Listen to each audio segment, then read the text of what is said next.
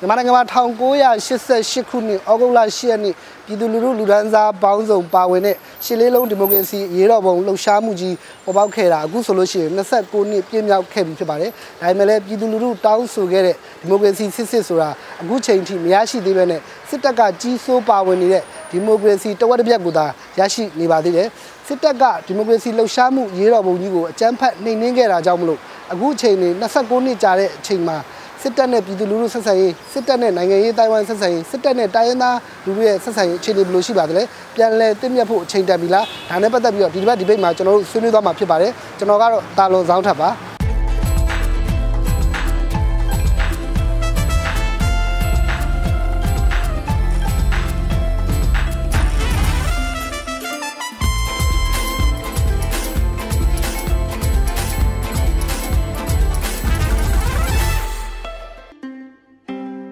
မင်္ဂလာပါ DPP debate အစီအစဉ်ကနေကြိုဆိုပါရစေဒီဘက်ကျွန်တော်တို့ဆွေးနွေးမယ့်အကြောင်းအရာကတော့ရှစ်လေးလုံးဒီမိုကရေစီအရေးတော်ပုံကြီး29နှစ်ပြည့်အထိမ်းအမှတ်ပြန်လည်တည်မြတ်ချိန်တန်မီလားဆိုတဲ့ခေါင်းစဉ်နဲ့ပတ်သက်ပြီးတော့ကျွန်တော်တို့ဆွေးနွေးသွားမှာဖြစ်ပါတယ်ကျွန်တော်တို့ဖိတ်ခေါ်ထားတဲ့ဆွေးနွေးမဲ့သူ၄ဦးနဲ့မိတ်ဆက်ပေးကြပါတယ်88မျိုးဆက်ငင်းငင်းရေးနဲ့ပွင့်လေးလူဖွဲ့စည်းကဦးမြရေးပြည်အောင်စုကြံ့ခိုင်ရေးနဲ့ဖွံ့ဖြိုးရေးပါတီပြောရေးဆိုခွင့်ရှိသူဒေါက်တာလှမြင့်တခင်ကိုတော်မိုင်းငင်းချမ်းရေးကိုရက် PKI မှဦးချစ်ဆောင်ဦး တေနကမဟာဗျူဟာလိလာရေးအဖွဲ့အမှုဆောင်ဒါရိုက်တာဦးမျိုးတန်းခိုင်တို့ဖြစ်ပါတယ်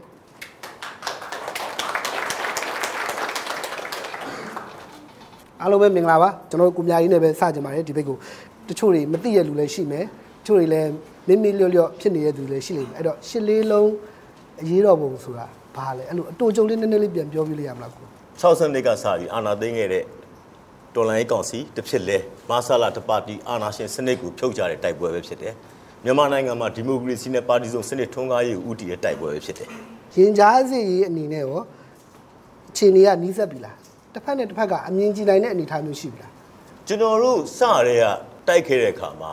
ကျွန်တော်တို့အနေနဲ့အမျိုးသားရင်ကြားစိတ်ရေးဆိုရယ်မူကိုလွတ်ပြီးတော့တိုက်ခဲ့တာမဟုတ်ဘူးတိုင်းပြည်ကိုပြောင်းလဲချင်တာဖြစ်တယ်နိုင်ငံရေးမှာအမြဲတမ်းရန်သူအမြဲတမ်းမိတ်ဆွေဆိုတာမရှိဘူးတိုင်းပြည်ရဲ့အကျိုးစီးပွားပဲရှိတယ်ဒါပေမဲ့တမိုင်းတစ်ခုကိုခွဲဝှက်ပြီးတော့မှ ဆိုလိုချင်တာကရှစ်လေးလုံးရေးတော်ပုံအပါအဝင်လူထုရဲ့ပေးဆက်ဆွန့်လွတ်မှုတမိုင်းကိုမှတ်တမ်းမတင်မဲနဲ့တော့အသွင်ကူးပြောင်းရေးကာလတည်းဆိုတာဘယ်နိုင်ငံမှာမှမရှိဘူး transitional justice ဆိုတဲ့ဟာမရှိဘဲနဲ့ national reconciliation ဆိုတာတိဆောက်လို့မရဘူးဆိုတော့တမိုင်းကြီးတမိုင်းပဲဒါပေမဲ့အဲ့ဒါကြီးဟာလက်စားချေဘူးအာဃာတတရားတွေနဲ့ထားဖို့မဟုတ်ဒါတစ်ချက်ကျွန်တော်ပြောချင်တယ်နောက်တစ်ချက်ကမူတကယ်ကိုတိုင်းပြည်ကိုပြည်သူအများစုတိုင်းသားတွေအားလုံးလိုချင်တဲ့ ဒီမိုကရေစီဖက်ဒရယ်ပြည်ထောင်စုတနည်းအားဖြင့်ဒီမိုကရက်တစ်ဖက်ဒရယ်ပြည်ထောင်စုသွားဖို့နိုင်ငံရေးဆန္ဒရှိကြပြီလားဆိုတော့ကျွန်တော်တို့မှမေးခွန်းထုတ်ဆရာရှိတယ်ဟုတ်ကဲ့ပါကျေးဇူးတင်ပါတယ်ကျွန်တော်တို့နောက်အသေးစိတ်ထပ်ပြီးတော့ဆွေးနွေးပါမယ်ဒေါက်တာနန္ဒာလှမြင့်ကိုကျွန်တော်မြင်ချင်ပါတယ်အဲ့တော့ရှစ်လေးလုံးအရေးတော်ပုံဒီပြည်တော်စုကြံ့ခိုင်ဖွံ့ဖြိုးရေးပါတီအနေနဲ့ပေါ့ဒီရှစ်လေးလုံးအရေးတော်ပုံကိုဘယ်လိုအမြင်သဘောထားရှိလဲပါတီအနေနဲ့ပေါ့อืมပါတီတစ်ခုလုံးဆိုတော့တဲ့ကျွန်တော်အမြင်ကျွန်တော်ဒီနိုင်ငံရေးလောကတွေရောက်ပြီးတော့အဲကျွန်တော်လေ့လာတဲ့မြင်ကြည့်တဲ့အခါကျတော့ ပြည်သူအများစုဟာစနစ်ဆိုတာထက်ပြည်သူလူထုဆင်းရဲကြက်တဲလာတဲ့အချိန်မှာအစိုးရကိုသူတို့မကြိုက်တော့ဘူးဒါကနိုင်ငံရေးအသည့်အမြင်တွေးခေါ်နိုင်တဲ့ပုံကိုယ်တွေကြောက်လဲစနစ်ကိုပြောင်းလဲမှဖြစ်တော့မယ်ဆိုတဲ့အမြင်မျိုးတွေရှိမှာပေါ့ဆိုတော့အဲ့ဒီလိုဖြစ်စဉ်တွေခန်းစားချက်တွေသူဖြစ်ချင်တာတွေထပ်တူကြလာတာပေါ့ရည်ရွယ်ချက်ချင်းတော့မတူအမြင်ချင်းတော့မတူသို့တော်လည်းပဲဒုထွက်ထားချင်းတူလာတဲ့အချိန်မှာဒီ88ကိစ္စကြီးဖြစ်ပေါ်လာတယ်လို့ထင်တယ်သို့တော်လည်းပဲဒီရှစ်လေးလုံးအရေးခင်းကိုဘယ်သူဥဆောင်လဲလို့မေးဘယ်သူဥဆောင်မှလည်းမသိဘူး သို့တော်တေချာတာကတော့ကျွန်တော်တို့နိုင်ငံမှာအဲ့ချိန်မှာတရားဥပဒေစိုးမိုးမှုကလုံးဝမရှိတော့ဘာဖြစ်လို့လဲဆိုတော့ကျွန်တော်တို့နိုင်ငံသားအချင်းချင်းဟလာအမျိုးသမီးယဉ်ကျေးလိမ်မာပါတယ်ဆိုတော့ကျွန်တော်တို့မြန်မာအမျိုးသမီးတွေကိုယ်တိုင်ကခေါင်းဖြတ်လူတက်တဲ့နေရာမှာပါလာပြီအဲ့ဒါအဲ့ဒါအဲ့ဒါကျွန်တော်ခဏလေးဖြတ်ပြောမယ်အဲ့တော့အများအားကျွန်တော်တို့ကြည့်နေကြတာဟိုပုံဖော်တဲ့ဟာပေါ့နော်ဘာလွဲနေရလဲအကိုတို့ကကြတော့ဒီမိုကရေစီလှုပ်ရှားမှုအရေးတော်ပုံလို့ပြောတယ်တစ်ဖက်ကကြတော့ခေါင်းဖြတ်လူသက်ပွဲလို့ပြောတယ်ဘာကွာနေရလဲတော်လိုင်းရေးဆိုတော့ကတော့ထမင်းစားစပွဲပိုင်းပေါ်မှာထိုင်ပြီးဇွန်းနဲ့ခရင်နဲ့စားရတဲ့အမျိုးမျိုးမဟုတ်ဘူးဗျတော်လိုင်းမှာဘေးထွက်ဆိုးကျိုးဆိုတာရှိပါတယ် အဲ့ဘေးထွက်ဆိုးကျိုးလေးတစ်ခုလေးကို highlight လုပ်ပြီး spot ထိုးပြီးတော့မှတော်လိုင်းရေးတစ်ခုလုံးကိုဆွဲချဖို့ဆိုတော့မဖြစ်နိုင်ပါဘူးဟောပြောမယ်ဆိုအချက်လက်တွေကအများကြီးပြောစရာဖြစ်လာလိမ့်မယ်။ဘာဖြစ်လို့ခေါင်းဖြတ်တဲ့လူတက်မှုတွေဘယ်သူကဖန်တီးတာလဲဆိုကျွန်တော်တို့ဘက်ကလည်းပြောစရာရှိတယ်။ဒါပေမဲ့ဒါတွေကိုကျွန်တော်မပြောချင်ဘူး။ဘာဖြစ်လို့လဲဆိုအမျိုးသားပြန်လဲတင့်မြတ်ရေးမူအရာဖြစ်တယ်။ဒီတော်လိုင်းရေးကိုညင်းပယ်လို့မရလို့ဒီကနေ့တိလေးလေးပြောမယ်ဆိုလို့ရင်စစ်ဆိုးကကိုယ်တိုင်ကကြိုက်ဒီဖြစ်စီမကြိုက်ဒီဖြစ်စီပါတီစုံစနစ်ကိုလက်ခံခဲ့ရတာပဲမဟုတ်ဘူးလား။ ဒါဒီတော်လှန်ရေးရဲ့အကျိုးဆက်ပဲဒါပဲသူပြောသလိုဒါခေါင်းဖြတ်လူတပ်ပွဲမဟုတ်ဘူးဒါဘေးတဲ့ဆိုးချိုးကိုဒါတင်ပြီးတော့တစ်ခုလေးကို highlight လုပ်တယ်လို့ပြောတယ်အဲ့ဒီအချိန်မှာဒီလိုမျိုးဒါတရားဥပဒေစိုးမိုးမှုမရှိဘူးတိုင်းပြည်စုပူအုံကြွနေတဲ့အချိန်မှာဒီတိုင်းပြည်ကြီးကိုအချုပ်ချာအာဏာမဆုံးရှုံးရအောင်တိုင်းပြည်ပြိုကွဲမသွားအောင်ဒီထက်ပို့ပြီးတော့စိုးပွားတဲ့ဖြစ်စဉ်တွေမဖြစ်လာအောင်ဘယ်အဖွဲ့အစည်းကလုံနိုင်တဲ့အဲ့အချိန်မှာလုံနိုင်တဲ့အင်အားစုဘယ်သူရှိသလဲဒါလေးကိုကျွန်တော်မြင်ချင်တယ်တက်မတော်မှာတပါဘယ်သူရှိသလဲအဲ့ဒါတော့ကျွန်တော်လည်းဖြည့်စရာရှိတယ်ဗျ ကိုနန္ဒလှမြတ်အဲ့ချိန်တော့ငယ်သေးလို့မသိလို့ဖြစ်ပါလိမ့်မယ်တကယ်တမ်းကျတော့စက်တင်ဘာလ20ရက်နေ့မှာအားလုံးအစည်းအဝေးထိုင်ပြီးတော့မှဂျာပြက်အစိုးရဖွဲ့စည်းရေးဆိုတာရှိပါတယ်ထပ်တခါပြောရမယ်အဲ့ဒီချိန်တော့ကော်မရှင်ရှိပါတယ်ဥပဒေဥဆောင်တယ်ကော်မရှင်ကကျွန်တော်တို့ဒေါအောင်ဆန်းစုကြည်ဦးနုဦးအောင်ကြီးပါပဲအားလုံးကျွန်တော်ပါပါတယ်ခေါ်တွေ့တဲ့အခါမှာဂျာပြက်အစိုးရအတွက်ကမ်းလှမ်းမှုတွေရှိခဲ့မှုပါတယ်တတ်မလို့တခုတည်းကျွန်တော်တတ်မလို့မစော်ကားပါဘူးတတ်မလို့ကတိုင်းပြည်အတွက်လိုအပ်ပါတယ်ဒါပေမဲ့တတ်မလို့ကလုံမှရမယ်ဆိုတဲ့ဟာတော့ကျွန်တော်လက်မခံပါဘူး ဒါကျွန်တော်တို့ကျွန်တော်ပြောပြရှိသေးတယ်ဟုတ်ဒီဂျာပြက်အစိုးရဖွဲ့စည်းရေးဒီကော်မရှင်တွေဖွဲ့ပြီးလုပ်ကြတယ်သို့တော့ကျွန်တော်တို့ကပြန်သုံးသပ်ဖို့လိုတာကအဲ့ဒီကော်မရှင်ကတိုင်းပြည်ကိုတကယ်တာဝန်ယူလိုက်တဲ့အချိန်မှာတိုင်းပြည်တကယ်တည်ငြိမ်အေးချမ်းသွားမလားဆိုတဲ့ဟာကိုလည်းထည့်သွင်းစဉ်းအဲ့စားဒီဖို့ကော်မရှင်ကမြန်မာဆိုရှယ်လစ်လမ်းစဉ်ပါတီကဖွဲ့ပြီးတဲ့ကော်မရှင်ပါကျွန်တော်တို့ကနေဖွဲ့ပြီးထားတဲ့ကော်မရှင်မဟုတ်ဘူးအဲ့တော့ကျွန်တော်ဆိုလိုချင်တာကလေတမိုင်းတစ်ခုကိုတုံးတက်မယ်ဆိုလို့ရှိရင်ထုတ်လိုက်တဲ့စာအုပ်တုပ်ကိုဖတ်ပြီးတုံးတက်လို့မရပါဘူးဗျ ဒီတမိုင်းထဲမှာပါဝင်နေတဲ့အချက်လက်တွေကိုထောင်းစီအောင်အကုန်လုံးကြည့်ပြီးမှတုံးတက်တာပုံမှန်တယ်ဗျအဲ့တော့ဆရာဦးချစ်ဆောင်ကိုအလှည့်ပေးကြပါတယ်တိုင်းပြည်တစ်ခုကိုတိဆောက်တဲ့အခါမှာအခုနလိုပြောတဲ့အာဃာတတွေရှိတယ်လမ်းတွေပေါ်မှာငင်းချမ်းစွာအတူတချောင်းမပါတဲ့ဆန္ဒပြနေတဲ့ပြည်သူလူထုကိုပြစ်တက်ခဲ့တယ်ဆိုတော့ပြောကြဆိုကြအလားကိုရေးကြသားကြတမိုင်းမှတ်တမ်းတွေလည်းအပြည့်အဝရှိတယ်အဲ့ဒီဟာတွေကိုတင်မုံချေရမယ်လို့တော့ထင်ပါတယ်အဲ့တော့ဘယ်သူကစပြီးတော့ခွင့်လွှတ်ရမှာလဲတင်မိုးချီဆိုတဲ့စကားကခုမှနိုင်ငံရေးလောကတိုင်းကိုရောက်လာ 1962ခုနှစ်ကျွန်တော်တို့နိုင်ငံရေးခေါင်းဆောင်တွေရဲဆက်ဆက်အနေနဲ့ခံရတယ်အသက်ခံရတယ်အပြစ်ခံရတယ်နောက်ကျွန်တော်တို့69ခုနှစ်ဖြစ်တယ်84အလုံးသမားရေးခင်းမှာအပြစ်ခံရတယ်ကျွန်တော်တို့တွေရဲ့ငွေရပါအခွင့်အရေးတွေဘတ်ဒရိုက်ကစပြီးတော့ဒီမိုကရေစီအခွင့်အရေးတွေ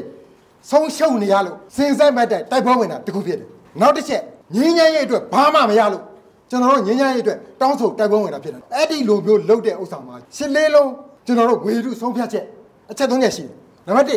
ဒီမိုကရက်တစ်နိုင်ငံတော်တည်ဆောက်ရေးအတွက်လုပ်ပြီးပြီလား။မပြီးဘူးအဝေးကြီးအဲ့ဒါမှာအဟံတာအများဆုံးဖြစ်တာက2008ဖွဲ့စည်းပုံအခြေခံဥပဒေဖြစ်တယ်ဗျအဲ့ဒါ2008ပဲဟုတ်လားအဲ့ဒီ2008အခြေခံဥပဒေကိုကျွန်တော်တို့ကမဖြတ်နိုင်ရင်တကယ်မှန်ကန်တဲ့ညီညာစိတ်မှုတွေမဖြစ်ဘူးနောက်တစ်ခါကျွန်တော်တို့ပထမတည်းကအစအစာပေါ့ဗျာနိုင်ငံရေးဆင်ဆင်မှာကျွန်တော်တို့တောင်းဆိုလာခဲ့တာဘာရှိလဲဆိုရင်ငြင်းညံ့ရေးဒီမိုကရေစီရေးအမျိုးသားပြန်လဲ တင့်မြတ်ရေးဒါကိုကျွန်တော်တို့ဆက်ဆက်မှတ်တယ်အမျိုးသားပြည်နယ်တည်မြဲရေးအတွက်ကျွန်တော်မိကိုထပ်ပြီးခုနမိကိုပဲထပ်မေးပါမယ်ဟုတ်အဲ့ကဲ့တော့တင်မုံချေရမှာတွေရှိတယ်ဟုတ်ကဲ့မှန်တယ်တိုင်းပြည်တိဆောက်တဲ့အခါမှာအဲ့တော့ဘယ်သူကစပြီးတော့ခွင့်လွှတ်မယ်ကျူးလွန်သူကခွင့်ရမယ်အဲ့မှာကျွန်တော်တစ်ခုပြောပြမယ်နူရမတ်စစ်ခုံရုံးမှာ H Jackson ရှိတယ်သူကဘာပြောလဲဆိုတော့ तू ကဂျူးတွေကို तू ကဘာလုပ်လဲဆိုတော့ရှင်းနေလိုက်တယ်ရှင်းနေအဲ့ဒါဘာပြောလဲဆိုတော့ဂျူးတွေအနေနဲ့တကယ်တမ်း Auschwitz အကျဉ်းစခန်းမှာတန်ပေါင်းများစွာအသက်ခံရတယ်အဲ့ဒီဥစ္စာကိုမှ ကျွန်တော်တို့က justice ဖြစ်တဲ့တရားစီရင်ရေးလုပ်မပေးဘူးဆိုရင်တတ်တဲ့ဂျာမန်လည်းမရှိဘူးနော်ဟစ်လာလည်းမရှိဘူးလို့ဆိုတာရောက်တယ်တဲ့ဒုတိယကမ္ဘာစစ်ကြီးမရှိဘူးဆိုတာလည်းရောက်ပါတယ်လို့ပြောတယ်ဒါက तू ပြောတယ်ဆိုတာအဲ့တော့ကျွန်တော်ပြောပါမယ်ဗမာပြည်ကလည်းစစ်လဲလုံးလူလူရဲတော်ပုံကြီးဟာလဲနေလျောင်းမြင်တော့မကြတကယ်ဖြစ်ခဲ့တယ်ဗျအဲ့ဒီရဲတော်ပုံကြီးအတွက်ကျူးလွန်သူဟာ confession ပေးကိုပေးရမယ်ကျွန်တော်တို့ဒါဟာလောက်ခဲ့တယ်လူလူကိုတတ်ခဲ့တယ်မှားတယ်ဆိုတော့ပြောမယ်တော့ပြောမယ်ဝေခမ်းမယ် နောက်တစ်ခါအဲ့ဒီပေါ်မှာတောင်းဆိုရမယ်ဒါပေမဲ့နောက်ကိုဒါမျိုးမဖြစ်ပါဘူးမလုပ်ပါဘူးဆိုတော့ပထမဆုံးကျူးလွန်သူကပြောကိုပြောမယ်အဲ့ဒီတော့မပြောမဲနဲ့ကျွန်တော်တို့ကညဉ့်ညစကြေပြောနေလဲအပေါ်ပဲ2008အောင်မှာညဉ့်ညရေးပြောနေလဲပဲဗစက်ကညဉ့်ညနေတာပဲဘာမှမဖြစ်လာဘူးဗျဟုတ်ကဲ့ပါအဲ့တော့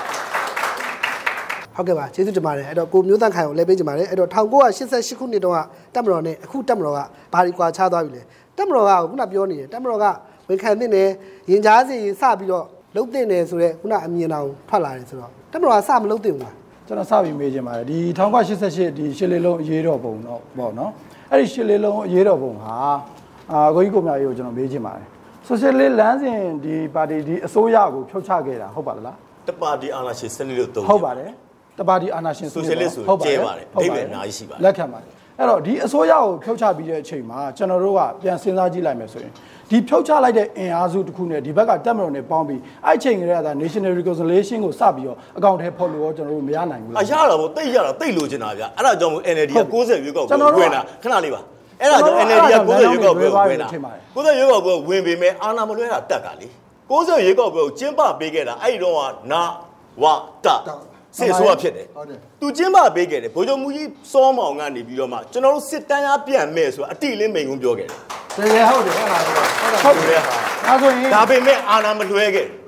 အာဏာမလဲဆိုတဲ့အခါမှာကျွန်တော်တို့တိုင်းပြည်တပြည်ကိုကျွန်တော်တို့ဒီမိုကရေစီတိုင်းပြည်တပြည်ကိုဒီဆောက်တဲ့အချိန်မှာကျွန်တော်တို့ကဒီဘက်ကလွတ်တော်ဥပဒေပြုရေးမှန်တယ်ဆိုတော့လွတ်တော်ပေါ့ဗျာဒီဘက်ကတရားရေးမှန်တယ်ဒီဘက်ကအစိုးရဒီဘက်ကတက်မတော်ပေါ့ဒါကတော့ national security နဲ့ဒီကာကွယ်ရေးပိုင်းဆိုင်ရာယူတဲ့တက်မတော်ပေါ့ဒီမိုကရေစီရဲ့ပြရုပ်ဖြစ်တဲ့ဒီ state building တွေရောအဲ့ဒီအချိန်မှာတော့ခိုင်မာမှုရှိနေပြီလား အခုရောခိုင်မာတယ်လို့ယူဆပါသလားဒါဆိုရင်အခုရောဘာကြောင့်ဒေါ်အောင်ဆန်းစုကြည်က2008ဖွဲ့ပြီးအခြေခံဥပဒေနဲ့ဝင်ခဲ့ပါလဲခင်ဗျာ2008ဖွဲ့စည်းအုပ်ချုပ်ပုံအခြေခံဥပဒေအရအကုန်လုံးကိုချုပ်ကင်ပြီးမှအာဏာလွှဲထားတာကိုဘာလို့ကျွန်တော်တို့ကပြောရမှာလဲအဲ့တော့အဲ့တော့ကျွန်တော်ကဒီဂျားထဲမှာခုနကကျွန်တော်ရဲ့မိန်းကလေးကိုပြန်သွားခြင်းပါတယ်ကိုမျိုးသက်ခိုင်ကိုကျွန်တော်ဒီဘက်ကနေကျွန်တော်ကျွန်တော်နေရာပြောက်တော့မယ်ဟုတ်ကဲ့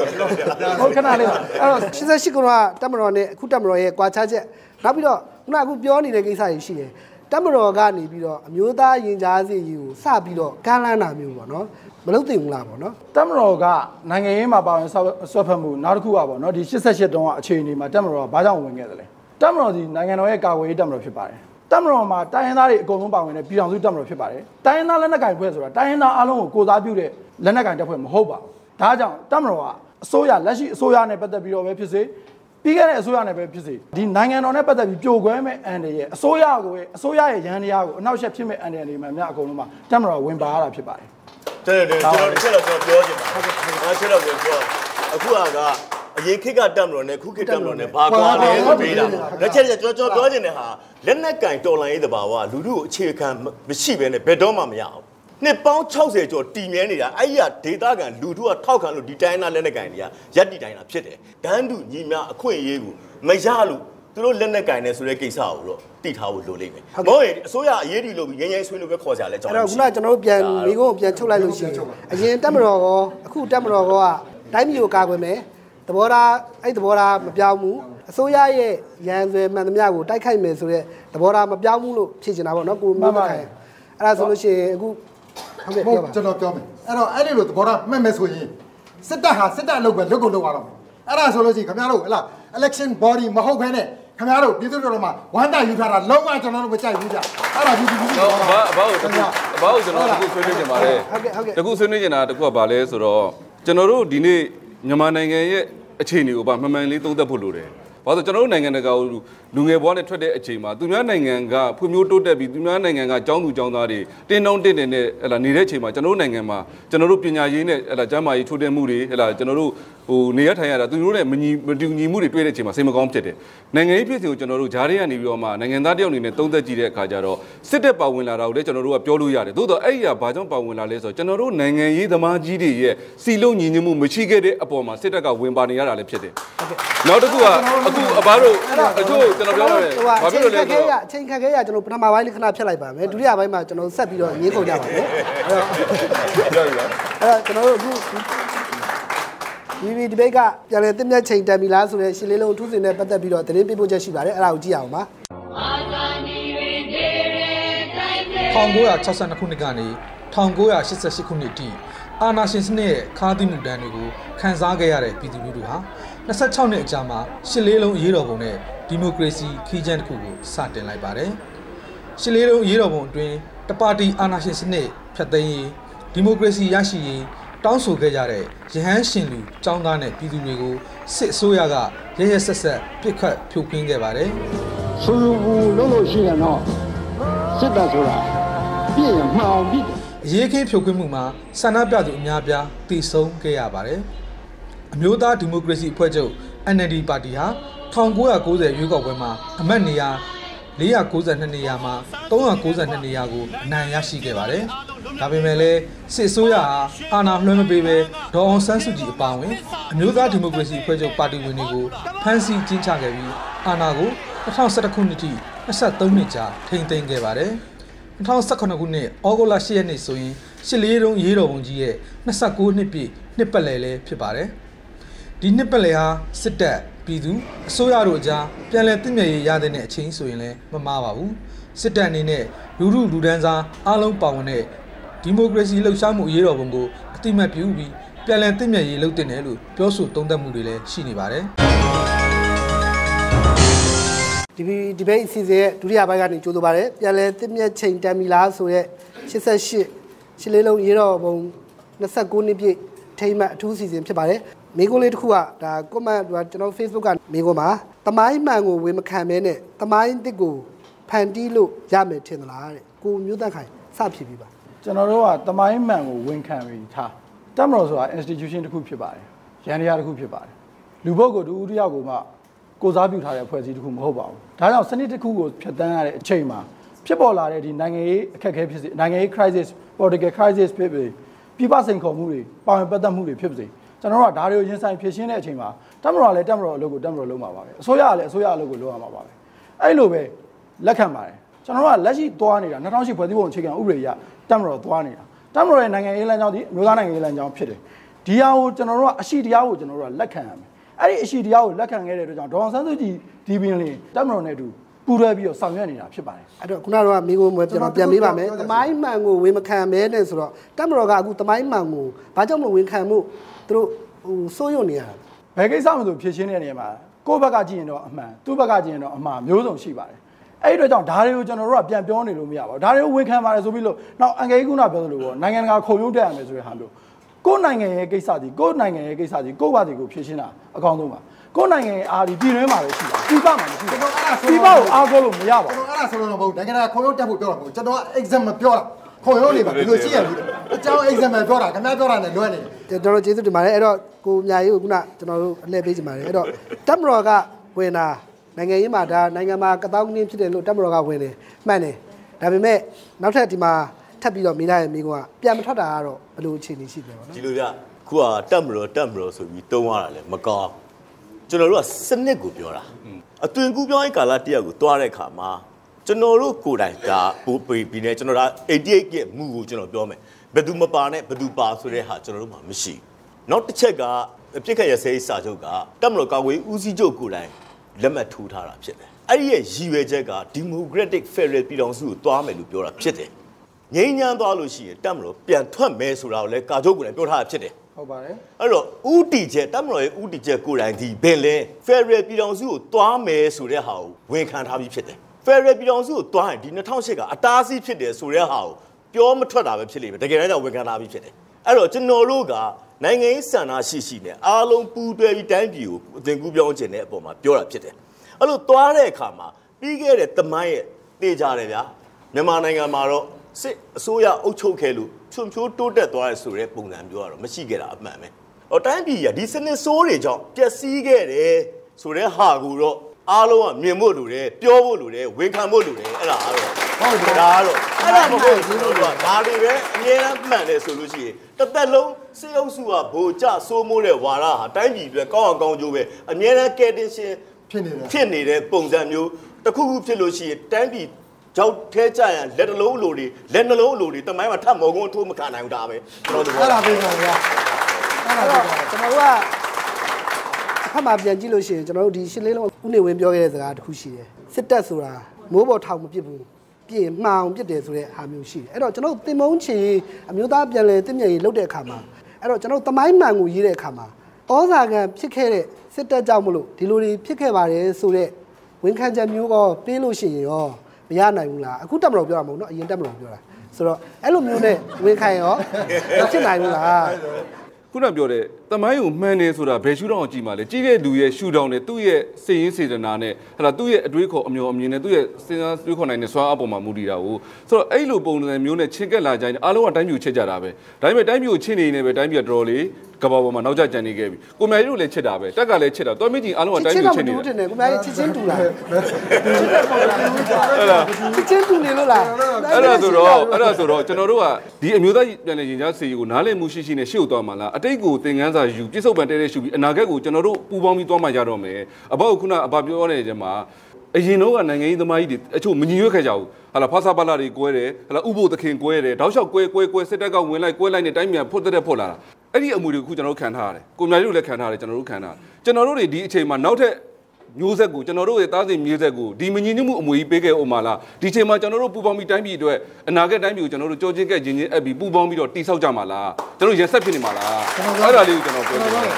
ကျွန်တော်ညီညွတ်ချင်တယ်ကျွန်တော်တို့ဘက်ကညီညွတ်ချင်တယ်နိုင်ငံရေးသမားတွေမှာနိုင်ငံရေးအမြင်ကလွဲလို့ကျွန်တော်တို့မမှမရှိဘူးကျွန်တော်တို့ကညီညွတ်ချင်တယ်ညီညွတ်ချင်တော့ကြောင့်ကျွန်တော်တို့ဆိုင်တင်မှာဆိုရင်လို့ချင်းသက်ရှိထင်ရှားရှိကြရကျွန်တော်တို့လက်ထက်ဒီဘာပြောလဲဆိုမင်းတို့ညီညွတ်ချင်သူမနာကိုမနာဒန်းတူရီတူနဲ့ တလေးတစားရှိတဲ့ညီညွတ်ရဲ့ငញ្ញမ်းရေးပဲလို့ချင်တယ်ဒါမှမလွတ်လို့ရှိတော့ဘာမှမဖြစ်မလာဘူးလို့ကျွန်တော်တို့ပြောဦးတယ်ဥပမာခင်ဗျ20ပင်လုံးခုသွားမယ်ပြောတယ် NCA မှာကဲခင်ဗျားတို့လာလာပြီးတော့ရင်လက်နဲ့ချကြလက်မထိုးကြဒီလိုမျိုးပြောလို့နဲ့ခင်ဗျညီညွတ်ရေးမဖြစ်ဘူးဗျဒန်းတူရီတူသဘောထားရတယ်နိုင်ငံရေးနည်းရရပြည်ပြည်လည်းနဲ့ညီညွတ်ညွတ်ပြင်ဆင်ဖို့လိုတယ်အဲ့ဒါအဓိကပဲအဲ့ဒါဒီကအဘာပြောတဲ့ပုံစံအရာဆိုရင်ဒါငြိမ်းချမ်းရေးအတွက်အမှန်တကယ်ဖော်ဆောင်နေတာမဟုတ်ဘူးပေါ့ မဟုတ်ဘူးဆိုတာက2008ဖွဲ့စည်းပုံအခြေခံဥပဒေအောက်မှာလုံနေတဲ့ကာလတော့ဘာမှမဖြစ်ဘူးများကျွန်တော်ပြောတယ်အဲ့ဒါပဲအဲ့ဒါအတားဆီးကြီးပဲအဘနိုင်ငံတစ်ခုရဲ့ transition period လေးကိုဘာလို့ပြန်ပြီးတော့ထည့်ဆင်းသားသေးတယ်လဲနိုင်ငံရေးစနစ်တစ်ခုနဲ့စနစ်တစ်ခုပြောင်းလဲတဲ့ transition period မှာကျွန်တော်တို့မြန်မာနိုင်ငံရဲ့တမိုင်းကြောင်းပထဝီနိုင်ငံရေးအခြေအနေလူမျိုးစုတွေရဲ့အနေအထားနောက်ပြည်သူလူထုရဲ့နိုင်ငံရေး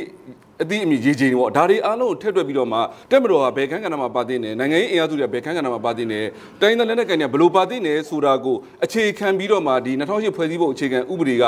ဒီ transition period မှာဆွဲဆွဲထားတဲ့အနေအထားပေါ့နော်အဲ့ဒီအနေအထားရအရင်တော့100%တက်မတော် ဒီနေ့25% 75%အရသာဖြစ်လာပြီနိုင်ငံရေးသမားတွေရင်းချက်လာပြီပြည်သူလူထုကလည်းနားလည်လာပြီဒီမိုကရေစီယဉ်ကျေးမှုကိုရလာပြီဆိုတဲ့တနေ့ကျရင်အော်တိုထွက်သွားမှာစစ်တပ်ကအဲ့ဒါကိုတက်မတော်ကဦးစီးချုပ်ကခုနကကိုမျိုးရေးကိုလည်းပြောပြီးသားဒီတိုင်းပဲစောက်ကင်ထားမယ်လို့တက်ပြီးတော့ကာကွယ်ဦးစီးချုပ်ဘူးတည်းပြောနေတယ်မပြောမပြောမပြောကျွန်တော်တို့ဒီလိုကျွန်တော်တို့ပြောချင်တာကရိုးရိုးသားသားပဲမြင်ကြည့်ပါဗျာအခုနမေးတဲ့ထဲမှာလည်းပါပါတယ် နော်စစ်တပ်ဆိုတာပြစ်လို့ရှိရင်ဘိုးဘော်ထောင်မပြစ်ဘူးတဲ့တဲ့ပြစ်မယ်ဆိုတဲ့စကားအဲ့ဒီအချိန်ကာလ तू ဘာကြောင့်စစ်တပ်ကြီးကိုတုံးပြီးပြောခဲ့လဲဆိုတာအခုတမိုင်းနေမှာတချို့တွေကပြန်ပြီးတော့ဒါကမဟုတ်ပါဘူးဒီပါဆိုပြန်ပြီးလိန်ဖို့စူးစမ်းနေတဲ့ကာလဖြစ်နေတယ်အခုရှိဒါကျွန်တော်တို့အခုပြောတဲ့စကားအတူတူ80 90တပွဲလုံးကိုသားပြောတာ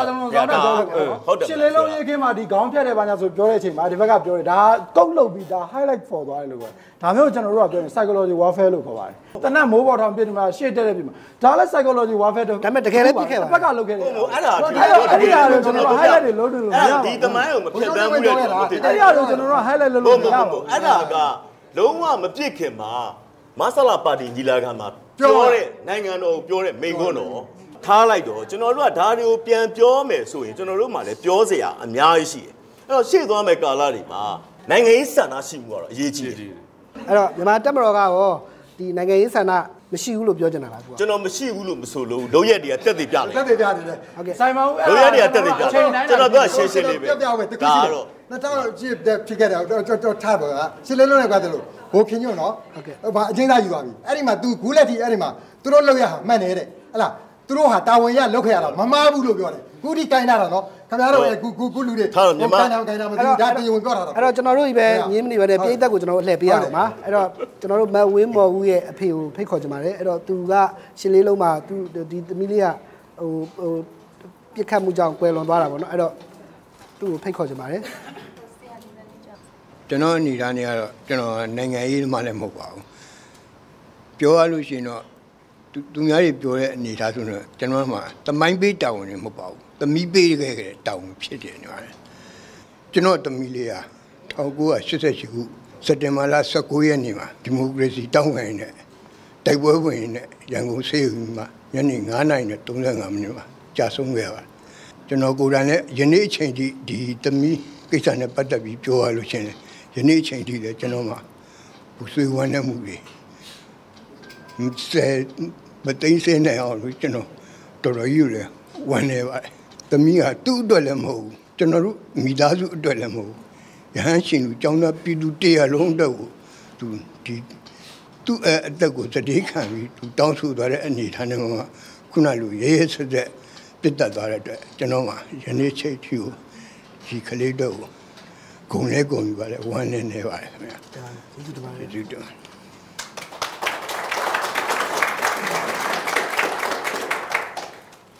မျိုးသားတန်တင်မြတ်ရေးစကလေးကကျွန်တော်ရှိတဲ့အချက်ပါဒါပေမဲ့မျိုးသားတန်ပြန်လဲတင်မြတ်ရေးမရှိခဲ့တာကျွန်တော်လွတ်လပ်ရေးရပြီးတဲ့အချိန်ကစလို့ပါပြူတော့ကကျွန်တော်တို့ကတန်းတဲ့ပြည်သူပေါ့နော်တမျိုးသားလုံးကညီညွတ်နဲ့လွတ်လပ်ရေးရအောင်တိုက်ခဲ့လို့လွတ်လပ်ရခဲ့တယ်ဒါပေမဲ့နောက်ပိုင်းမှာကျွန်တော်တို့ညီညွတ်ရေးပြိုကွဲပြီးတော့အဲ လွတ်လပ်ရေးဆုံးရှုံးနေပါဖြစ်ခဲ့တယ်အဲ့ဒါကလည်းဘာလဲဆိုတော့အဓိကကတော့တက်နေပြည်သူဝิญဉ်ညွတ်ခတ်တာအဓိကတည်းကတတ်မတော်မဟုတ်ဘူးခင်ဗျတတ်မတော်ကိုချဲ့လုံးရတဲ့စစ်အာဏာရှင်သူကြောင့်တိုင်းပြည်ဖြိုဖျက်ဖြစ်ခဲ့ရတာတိုင်းပြည်ဆွတ်ခဲ့ရတာဖြစ်တယ်ခဏကျွန်တော်တို့ဒီမိုစီခေါင်းဆောင်တွေအနေနဲ့ကလည်းအမျိုးသားပြန်လဲတင်းမြဲဆိုတာခေါင်းစဉ်တက်ပြီးတော့အရာရာကိုမလုပ်ရမကိုင်မလုပ်ပါနဲ့အဲ့ဒါအရာကိုကျွန်တော်လုံးတင်လုပ်ရတော့တတိရှိနေလုပ်မယ်ဆိုလို့ရှိရင်ခေါင်းဆောင်တွေနောက်မှာကျွန်တော်ပြည်သူတွေရောတက်မတော်ကြီးတစ်ခုလုံးကရှိနေပါတယ်ဆိုတော့ပြောကြားလိုပါတယ်ခင်ဗျကဲပါကျေးဇူးတင်ပါတယ်နောက်ထပ်ဆုံးလို့ကျွန်တော်ရှိပါလားဟုတ်ကဲ့ဒီမှာဒီမှာ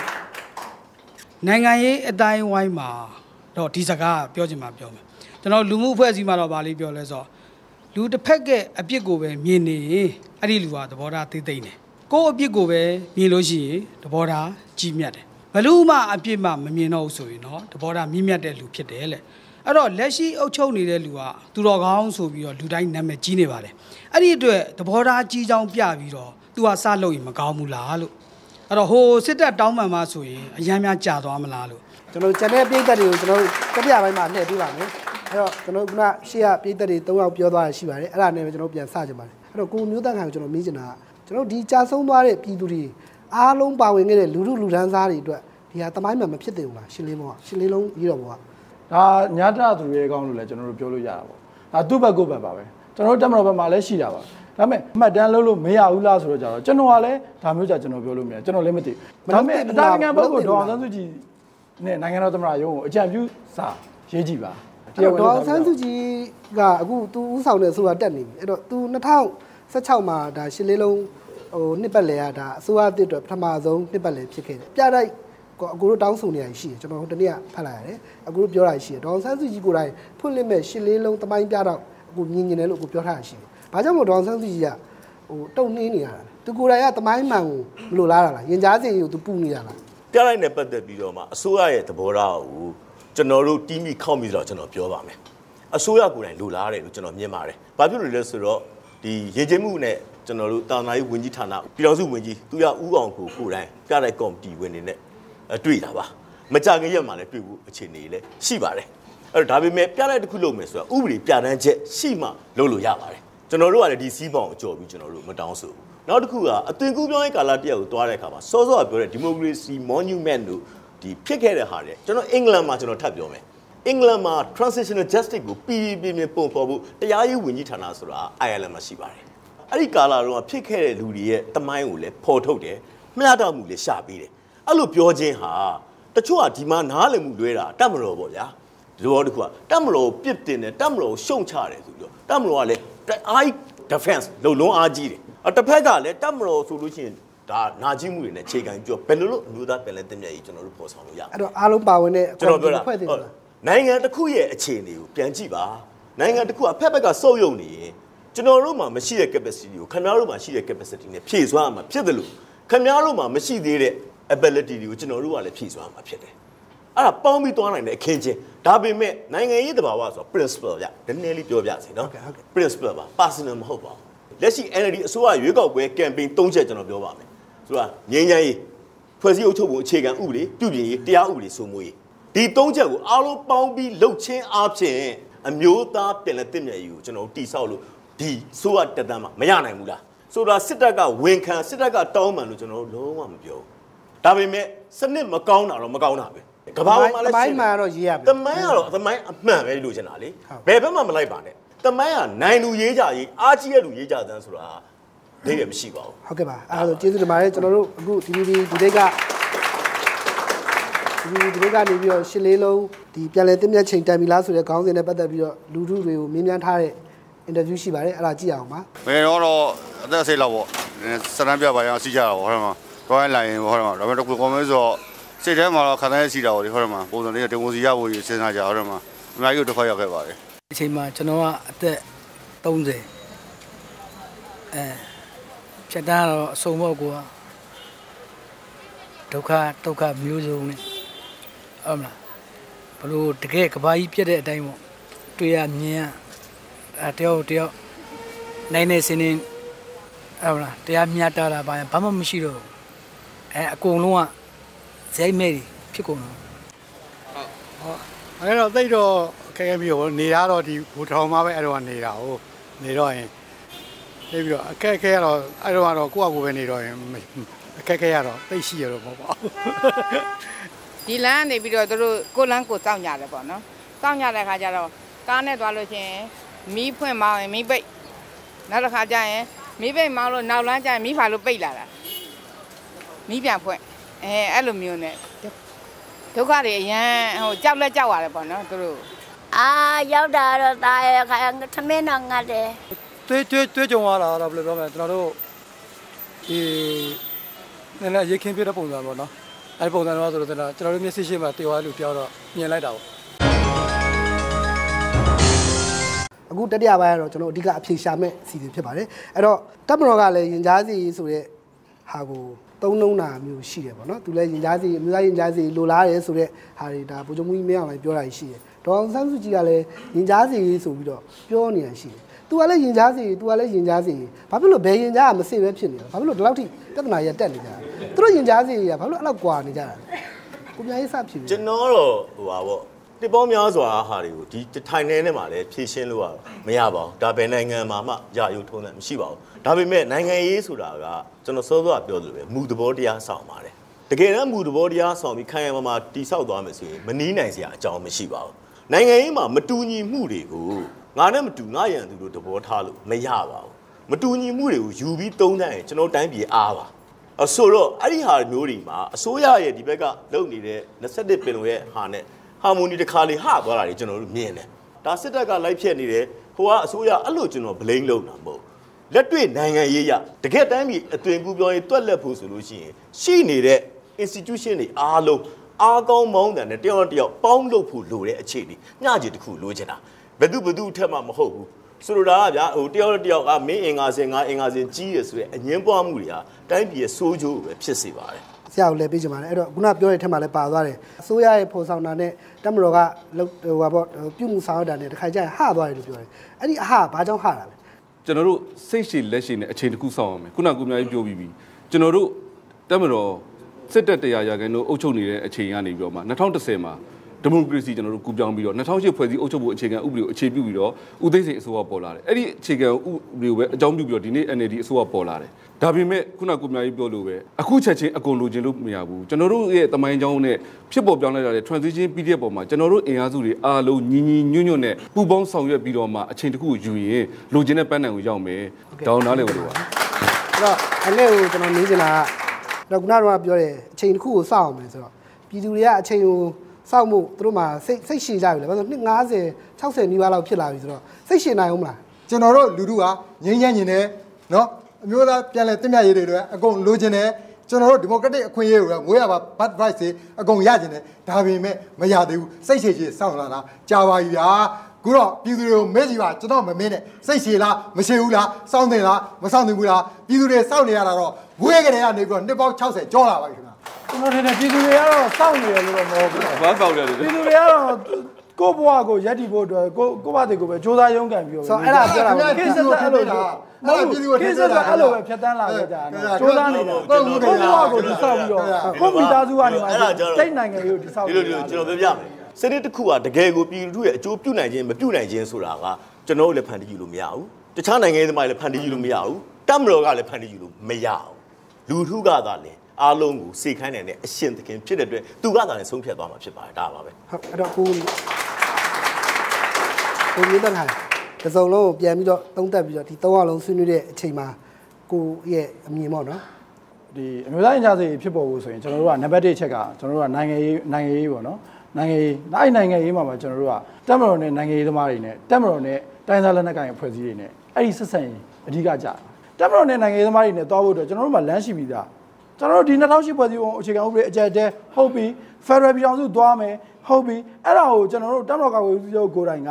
NCA မှာကိုများရေးလည်းပြောပါ NCA မှာ Greek way ပြပြီးသားအဲ့မှာနိုင်ငံရေးဆွေးနွေးပွဲရှိမယ်အဲ့လိုပဲတက်မတော်နဲ့တိုင်းသားလက်နက်ကိုင်ဖွဲ့စည်းရေးကြားဆက်ဆံရေးအဲ့ဒီဟာတိဆောက်ဖို့အတွက်လည်းကျွန်တော်တို့က NCA မှာရှိပြီးသားအဲ့တော့ NCA လမ်းကြောင်းကသွားခြင်းအဖြစ်သာမျိုးသားရင်ကြားစီလမ်းကြောင်းကိုတည်နိုင်မယ်အဲ့ဒါနံပါတ်1ချက် နံပါတ်2ချက်ကဘာလဲဆိုတော့စီးပွားရေးကျွန်တော်တို့တိုင်းပြည်ရဲ့စီးပွားရေးကိုကျွန်တော်တို့လုပ်တဲ့အချိန်မှာနိုင်ငံသားတိုင်းနိုင်ငံသားတိုင်းကကိုယ့်ရဲ့ GDP မြင့်ဖို့အတွက်ကိုယ်လုံနိုင်တဲ့ပမာဏအကုန်လုံးလုပ်ရမယ်အဲ့ဒါကျွန်တော်ပြောရမှာဒေါန်ဆန်းစုကြည်ကိုယ်တိုင်ပြောထားတာရှိတယ်နိုင်ငံသားတိုင်းနိုင်ငံသားတိုင်းကကိုယ့်တာဝန်ကိုယ်ကိုကြေပုံအောင်လုပ်ရမယ်ကိုတောင်ဝင်ကိုမလုပ်ဘဲနဲ့ကိုပါစီကိုထိုင်နေပြီးတော့နိုင်ငံရေးနိုင်ငံရေးဆိုអော်ပြီးတော့အစိုးရမကောင်းကြောင်းပြောနေလို့ကျွန်တော်တို့ဘာမှဖြစ်မလာဘူးနံပါတ်3ချက်ကဘာလဲဆိုတော့အင်အားကြီးနိုင်ငံတွေရဲ့ပါဝင်ဆက်ဖက်မှုကျွန်တော်တို့နိုင်ငံအခုချိန်မှာကျွန်တော်တို့နိုင်ငံတကယ် geopolitics ရမှာပြီးတော့အချက်ချာကြတယ်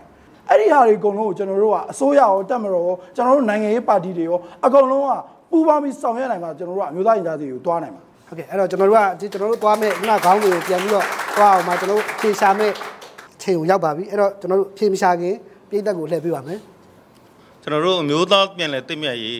မရရင်ကျွန်တော်တို့ဘယ်မှသွားလို့မရဘူးကျွန်တော်တို့အစိုးကြောတန်တရားလဲမယ်ဒါပေမဲ့အမျိုးသားပြန်လဲတင့်မြတ်ရေးကခဏတော့ပြောတယ်အမှန်တရားဖော်ထုတ်ရေးနဲ့ကျွန်တော်တို့ ကင်းကွာပြီးကျွန်တော်တို့လုံးဝသွားလို့မရဘူးဒါကအမှန်တရားဖော်ထုတ်ရေးဆိုတာကခဏတော့လက်စားချေရေးလည်းမဟုတ်ဘူးကျွန်တော်တို့နိုင်ငံမှာကျွန်တော်တို့အချုပ်ချာအာဏာပိုင်ရှင်ဆိုတဲ့ပြည်သူလူထုရှိတယ်နောက်တစ်ခါကျတော့အဲ့ပြည်သူလူထုကတာဝန်ပေးရတဲ့အစိုးရရှိတယ်တခါအပြန်အလှန်သဘောတူညီချက်ဆိုတဲ့ဖွဲ့စည်းပုံအခြေခံဥပဒေရှိတယ်သို့တော့အဲ့ဓာတွေကိုကြော်လွန်ပြီးတော့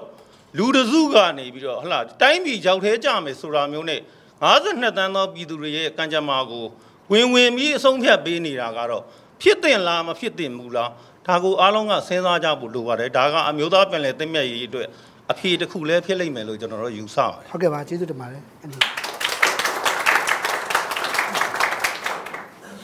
အဲခေါင်းစဉ်အနေထားမှာအခုဒီကပေါ့နော်ဆရာဦးမြအေးတို့ဒီကဘာတို့ကခါဒေါ်တွေမောတွေနဲ့ခါတယ်ဆွေးနွေးနေကြတာကိုတွေ့တယ်အဲ့တော့အဲ့လိုဒေါ်တွေမောတွေနဲ့ဆွေးနွေးနေကြတာကိုကြည့်ချင်းအပြင်ဒီအမျိုးသားပြန်လဲတင့်မြတ်ရေးဆိုတဲ့ကိစ္စကြီးကဒါပို့ပြီးတော့နီးလာမှာလား ဆိုတော့အဲ့ဟာလေးကိုလည်းပေါ့တစ်ခုပေါ့နော်နောက်တစ်ခုကတော့ဒါအခုဒီ88ဒါအရေးခင်းကာလမှာဒီတိုင်းပြည်ဟာ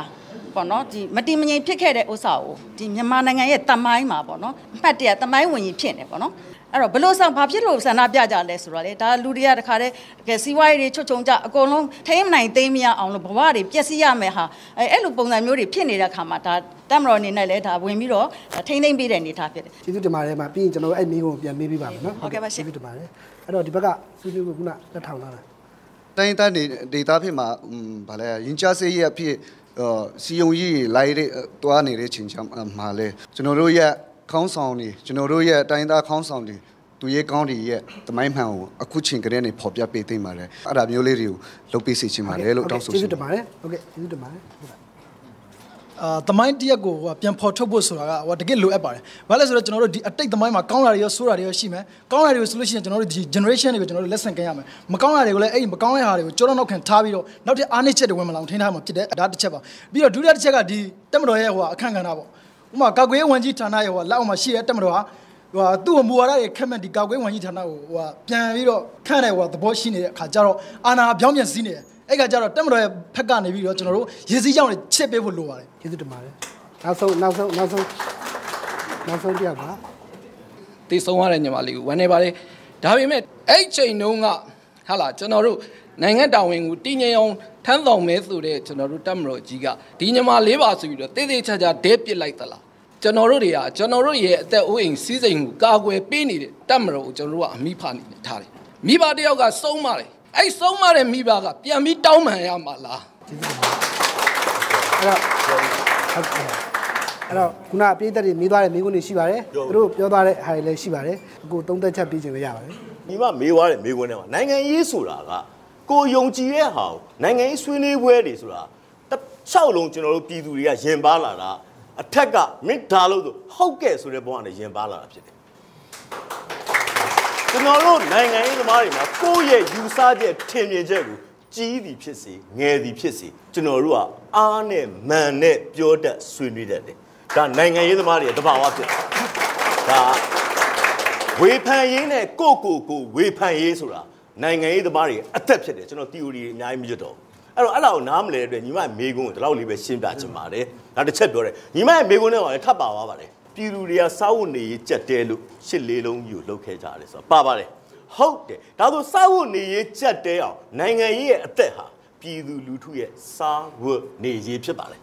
စာဝတ်နေရေးကိုဖော်ဆောင်တာဟာနိုင်ငံရေးစနစ်ဖြစ်ပါတယ် ဒါဆိုလို့ရှိရင်အဲ့ဒီကာလကပြည်သူလူထုရဲ့စာဝတ်နေရေးတွေမွန်းကျက်ကြက်တဲပြီးဒုက္ခဒုက္ခရောက်ခဲ့တဲ့ဟာကိုဘယ်စနစ်ကဖန်တီးခဲ့လဲဆိုတဲ့ဟာအဖြေရှိပြီးသားပါရှစ်လေးလုံးတမိုင်းဟာအလကားပေါ်လာအဖြစ်ရှိပြီးသားဖြစ်ပါတယ်ဟုတ်ကဲ့ပါဒီသမီးလေးကိုတဲ့တဲ့ပြစ်တာမဟုတ်ဘူးစေဟာလေတစ်ဆက်လေးပြောပါမယ်အကယ်၍များ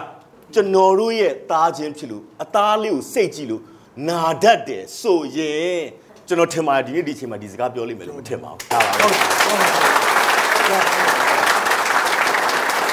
အခုတခုလေးမေးနေတာဟိုပါပေါ့ကျွန်တော်တို့ကဒါခုနကစနစ်ကြောင့်ဆင်းရဲတယ်လို့ပြောတာကျွန်တော်အမြင်ပြောတာနော်ဒါ old idea ကျွန်တော်နိုင်ငံစနစ်ကြောင့်ဆင်းရဲတာလားတိုင်းပြည်ကိုဥဆိုကြီးဥဆောင်ပြုခဲ့တဲ့ပုံကိုယ်တွေရဲ့စီမံမှုအမားတွေကြောင့်ဆင်းရဲတာလားဆိုတော့ကျွန်တော်စဉ်းစားဖို့လိုကျွန်တော်ပြန်ပြောပါမယ်မြန်မာ socialist လမ်းစဉ်ပါတီဆိုတာကျွန်တော်ဘိုးထောင်မှာ political science ကိုလေးနှစ်စက်တိုင်ဂုဏ်ပြုထွက်ခဲ့တဲ့လူပါ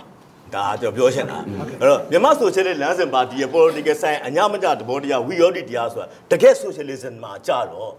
အနုပတိလောမရုပ်ဝါဒတရားအရာကြတော့အလကားပဲကြောင်းပြန်ပါမတူပါဘူး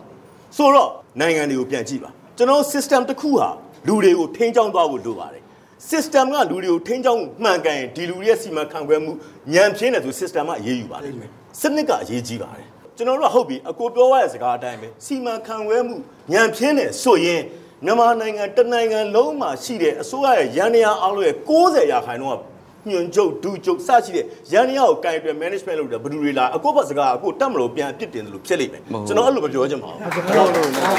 အဓိကစနစ်ကိုပြောချင်တယ်ဟုတ်ဒါမှကျွန်တော်ဘူဝါလားဘူဝါလားဒါအကိုဒေါ်လာဆွဲပြောတာဒါဒါတက်တယ်တက်တယ်တက်တယ်တက်တယ်စနစ်စနစ်တွေဟုတ်ပြီခုနပြောကြရအောင်နော်စနစ်တွေရောဗါရောအဓိကတော့ဘာလို့ဆိုကျွန်တော်တို့က unity မရှိတာဗျ unity ကိုတော့မှဆက်တယ်ဟုတ်ရနော် system ပေါ်မှာ unity ရှိရကျွန်တော်တို့ unity ကိုမှမှဘာမရှိတော့ပေါ်မဲ့လူတွေရောကျွန်တော်တို့ဒီကုန်းထုတ်လိုက်ပါမယ်ဟုတ်ဟုတ်ခဏလေးပါချက်ချင်တယ်ဒီကိုကျွန်တော်ပြောကျွန်တော်ကျွန်တော်တခုပြောပါဟုတ်ကဲ့ပါဟုတ်ကဲ့တရားချင်းစီပြောပါတရားချင်းစီပြောပါတရားဟုချင်းတ်သူ unity ပြောလို့လေ unity ကမူမဲ့တဲ့ unity ဆိုရင်မရဘူးကျွန်တော်တို့က unity မှာခင်ဗျကြော့ပြမယ်နော် အခြေခံမူရှိကိုရှိရတယ် philosophy ရှိရတယ်အဲ့ဒီအခြေခံမူနဲ့ဒန်းလူရင်မူမရှိလို့ရှိရင် unity ခင်ဗျဘယ်တော့မှမဖြစ်ဘူးဗျဟုတ်ကဲ့ပါကျွန်တော်အခုညီကုန်းချုပ်ပါမယ်ကျွန်တော်ခေါင်းစဉ်တွေလည်းနည်းနည်းပြန်လွဲနေတဲ့အတွက်ကြောင့်မို့ပြန်တဲ့ပါမယ်အဲ့တော့အဲ့တော့ unity လက်ခံဘယ်လောက်တည်းအဲ့တော့အခုကျွန်တော်တို့ပြန်လဲသင်မြတ်ရေးလောက်တော့မယ်ဒီမှာတော့တော်တော်မသိမမြတ်ဖြစ်နေအမြင်အမြင်အမြင်တွေကွဲနေရပါလေအဲ့တော့ကျွန်တော်ပြန်လဲသင်မြတ်ဖို့ညီကုန်းချုပ်တော့မယ်အဲ့တော့ကိုမျိုးသက်ခိုင်ဘယ်ကနေစလုပ်မလဲအားလုံးပူပေါင်းဆောင်ရွက်ရမယ်ဒါမဲ့ တူးတယောက်တည်းတစ်ဖွဲ့တည်းနဲ့ကျွန်တော်တို့ကလုပ်လို့မရဘူးကျွန်တော်တို့ကအပြန်အလှန်ဆက်ဆံရေးနဲ့အပြန်အလှန်လေးစားမှုပေါ့အဲ့ဒီဟာကိုကျွန်တော်တို့ကအခြေခံပြီးဖြည်းဖြည်းချင်းတည်ဆောက်မှာပဲရမယ်အဲ့တော့အပြန်အလှန်တိဆောက်ရင်းနဲ့ထပ်မကွဲဘူးတော့ဆူတောင်းအောင်ပါဗောနော်